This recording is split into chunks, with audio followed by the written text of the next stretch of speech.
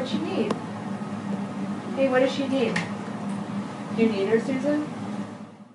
Ana then clarifies her message to Natalie by using her iPad.